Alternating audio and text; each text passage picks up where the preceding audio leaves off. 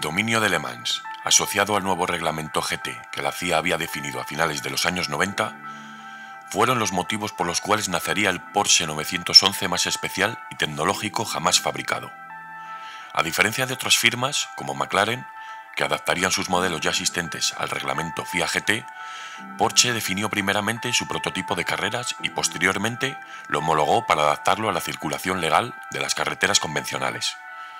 Había nacido el Porsche 911 GT1.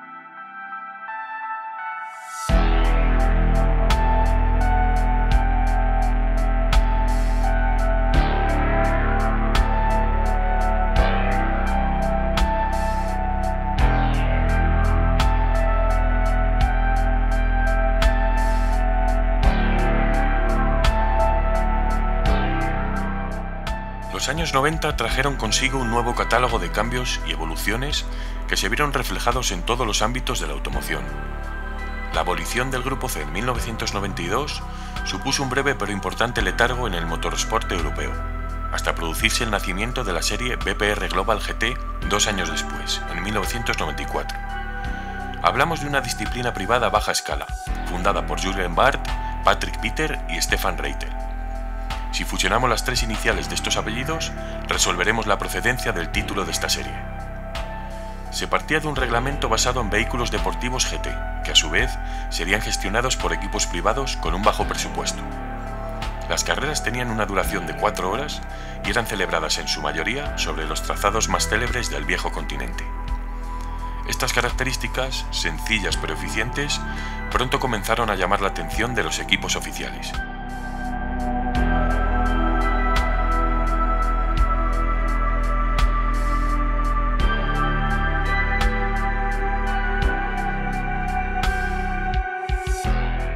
Esta serie, que cada vez acumulaba una mayor expectación, llamó la atención de la propia FIA, que en 1997 decidió apropiarse de la idea inicial realizando un cambio de nombre, el Campeonato FIA GT.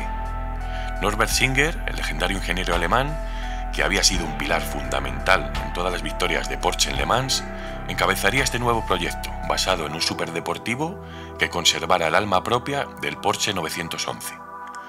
Como aliciente, a estos nuevos GT se les permitía la participación en eventos de resistencia como las 24 horas de Le Mans.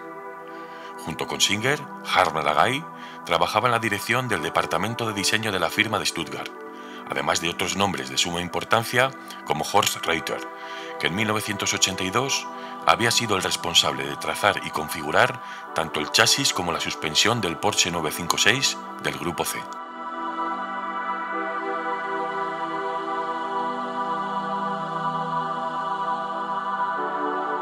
Norbert Singer desveló cómo el GT1 había sido diseñado a partir de una carrocería original 993, que entonces era la versión del Porsche 911 que estaba vigente en el catálogo comercial. A esta carrocería de acero le fue estirpada la parte trasera, justo por detrás de los asientos delanteros.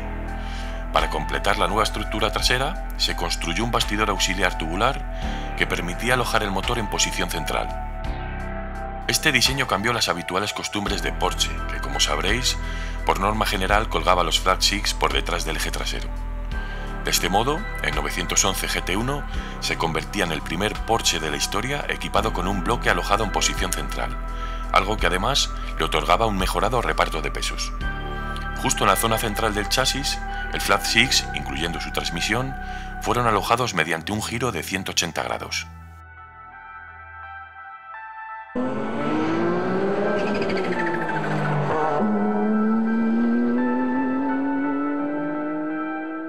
Hablamos del bloque M96-80 de 3,2 litros, una mecánica que imitaba exactamente el diámetro y la carrera del Porsche 962 que había participado en la INSA. También conservaba las culatas refrigeradas por agua, aunque a decir verdad, estas se destinaron para ser utilizadas originalmente en el evolucionado Porsche 959 destinado al grupo B de rally. Pero aunque emularan el concepto original, estas culatas sí que sufrieron algunas variaciones importantes, empezando por el uso de cuatro válvulas por cilindro y dos árboles de levas. Por supuesto, este sería un Porsche Turbo, en esta ocasión por partida doble, con dos unidades KKK K27. Ambos turbos estaban monitorizados a través del revolucionario sistema de gestión Bosch Motronic 5.2. Así, el conjunto terminó declarando un potencial de 600 caballos a 7.000 vueltas, una configuración inicialmente utilizada con la vista puesta en Le Mans. La transmisión G96, sincronizada con seis relaciones, incorporaba un embrague monodisco de metal sinterizado.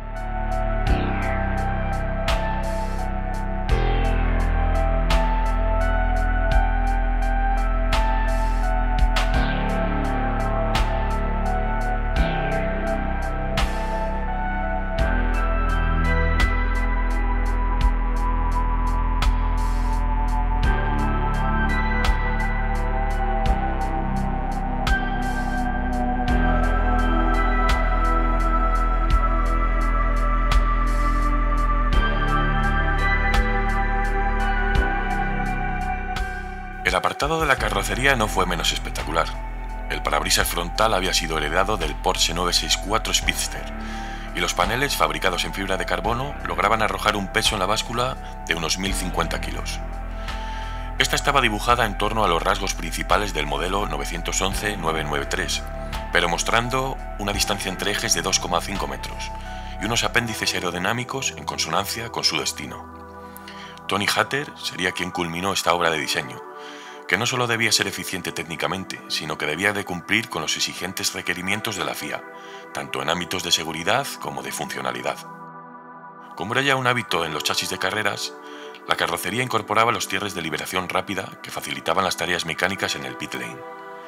Frenar toda esta potencia se hacía algo casi fácil, con un sistema Brembo de discos de 380 milímetros, abrazados con pinzas de 8 pistones en el eje delantero y de 4 en el trasero y las llantas, de aleación de magnesio, eran de tres piezas.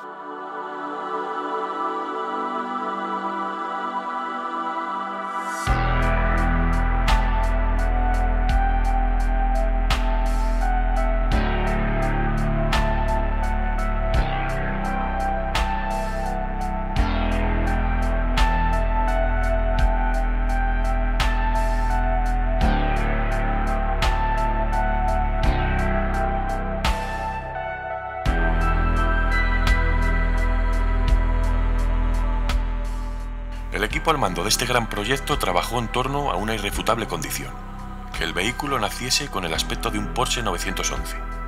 Y así fue, su aspecto era fácilmente distinguible como un 911, eso sí, muy musculado. Una vez superadas todas las condiciones de seguridad y homologación, ya se podía proceder a fabricar las unidades de calle del GT1. A lo largo de la temporada 1996, el modelo sería sometido a un intenso programa de pruebas, en el que además tenía la presión extra de hacer un complejo debut en Le Mans. Sin embargo, aquel debut pareció ir como la seda gracias a su triunfo en la SAR. Los dos chasis, número 2 y 3, se alojaron en el primer y el segundo puesto en su categoría, y en el segundo y en el tercero en la general, únicamente por detrás de los TVR Porsche WSC 95 LMP1, entonces gestionados por Joes Racing.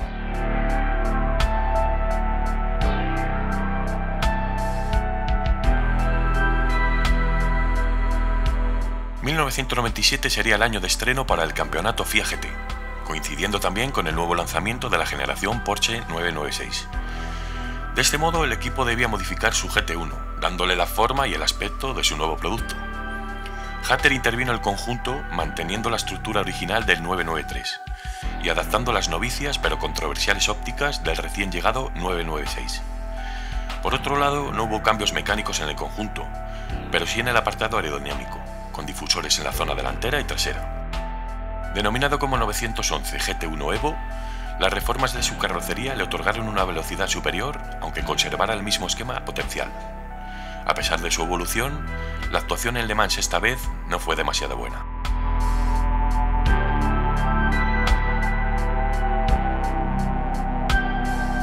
El chasis número 4 estuvo presente en la edición de 1997, pilotado por Bob Wollek, Hans Stack y Thierry Busten. El número 5 estaría dirigido por Janik Dalmas, Emmanuel Collard y Ralph Kelleners. Los primeros tuvieron que abandonar con problemas en la caja de cambios, mientras que el segundo chasis tuvo el mismo final con un problema de incendio. El balance general de las dos temporadas arrojaba que el 911 GT1 se veía lastrado con ciertos problemas de sobrepeso y una aerodinámica que no terminaba de estar bien afinada. Esto provocó que Porsche desechara el conjunto e iniciara un nuevo proyecto desde cero para la temporada 1998. Las intenciones eran eliminar todos aquellos errores técnicos y, no menos importante, terminar con el dominio de los Mercedes TLK GTR, que se habían proclamado como vencedores absolutos del campeonato FIA GT. A partir de las revolucionarias técnicas digitales, el nuevo Porsche 911 GT1 fue diseñado mediante un software asistido de última generación. Este estaba dirigido por un conjunto de modeladores digitales expertos que previamente habían sido contratados por Porsche. Así nacía la versión definitiva del modelo, el 911 GT1 98 seguía manteniendo la condición de ser visualmente parecido a un 911, aunque al ser un producto dibujado desde la nada, se complicó algo más ese enfoque característico del estilo 911 en un coche de carreras tan agresivo.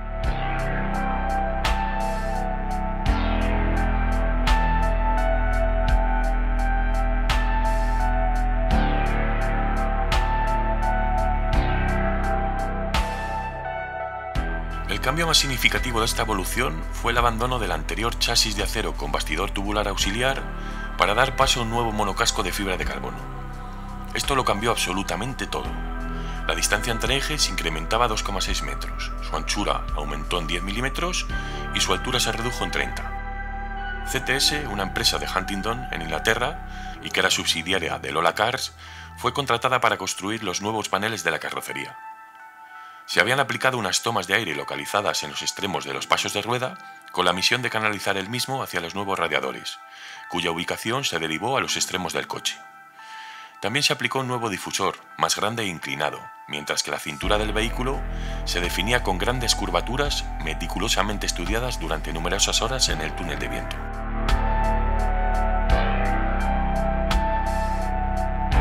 Curiosamente, debido a las nuevas formas del modelo, los componentes de las ópticas delanteras tuvieron que ser modificados para adaptarse al nuevo frontal. Las puertas fueron rediseñadas en igual medida, si bien las del modelo original tampoco permitían su adaptación a la enorme obra realizada por todo el conjunto. Siendo fijadas al pilar A, ahora su apertura se definía de una forma mucho más exótica. Al final, únicamente las carcasas de los retrovisores habían permanecido como la única similitud con el 911 GT1 original.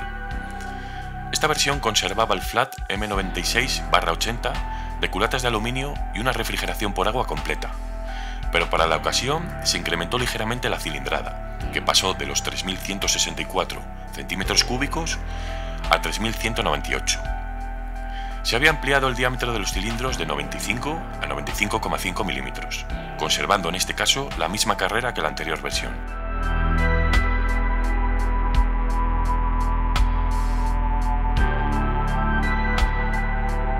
Los cambios continuaron con la aplicación del nuevo sistema de gestión de motor TAG 3.8, consumando así Porsche la última tecnología punta de finales de los años 90 a los estándares de la competición, el 23 de febrero de 1998, el experto piloto francés Bob Wollek fue el encargado de iniciar los tests del 911 GT1 98. Se trataba de un helado atardecer en el que el propio Harm Lagay declaró que el chasis número 1 se comportó como la seda. Había superado en todos los aspectos a sus predecesores. El trabajo realizado había sido tan bueno que esta obra le otorgaría a Porsche su decimosexto título en Le Mans, tras lograr ocupar los primeros puestos de la temporada 1998. Alan McNeese, Laurenello y Stefano Ortelli condujeron el chasis número 3, vencedor absoluto. El número 2 alojaría George Muller, Hugo Elchen y el propio Bob Welleck, que obtendrían el segundo puesto en la SAR.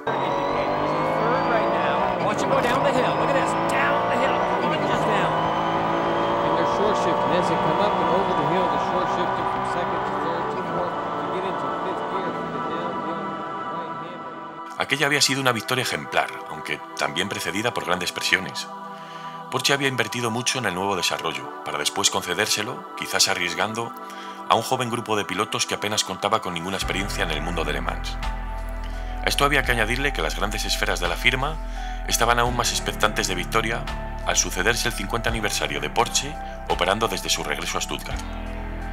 Las incertidumbres crecieron cuando además durante las dos primeras carreras de la temporada del Campeonato FIA GT de 1998, los nuevos Porsche volvían a ser derrotados por los Mercedes. Finalmente, Porsche obtuvo su gran victoria y logró volver a ser el rey de Le Mans, aunque irónicamente nunca pudo ganar el campeonato FIA GT, una misión para la que teóricamente había sido diseñado y construido su GT1. 17 años tuvieron que transcurrir para que después de esta última victoria volviésemos a ver a Porsche coronándose en Le Mans. Entonces ya contaría el año 2015, en el que la firma de Stuttgart ya se presentaba como una de las pioneras en la aplicación de la tecnología híbrida en competición, a través de su 919.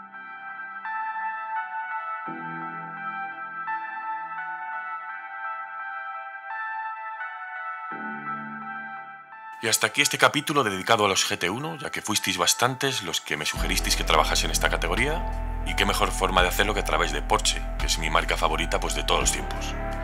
Quería resaltar también que esto es un trabajo que hace tiempo escribí para la revista 911 y que es la única del mundo, la única que es en español y especializada en Porsche. Y bueno, como ya sabréis, la situación actual, pues debido al incremento del precio de las materias primas y de otros factores como la caída de muchos de los anunciantes, pues esta revista está pasando por un mal momento y desde aquí quería mostrarles todo mi apoyo, todos mis respetos y desearles que, todo mejore pronto. Y recordar que gracias a las revistas muchos de nosotros pudimos crecer aprendiendo y disfrutando de, de esta pasión y que por desgracia pues hoy en día es un formato que está muriendo injustamente. Yo personalmente sigo comprando revistas, me encantan, me gusta el formato físico y seguiré haciéndolo mientras, mientras podamos, porque llegará un punto que, esto desaparezca y es una pena. Espero que hayáis disfrutado de este capítulo, como siempre. Muchísimas gracias por todo vuestro apoyo. No soy aún consciente de la forma en la que estamos creciendo y cómo estamos evolucionando, pero todos gracias a vosotros. Vuestro apoyo es increíble. No puedo deciros más que gracias. Un saludo amigos.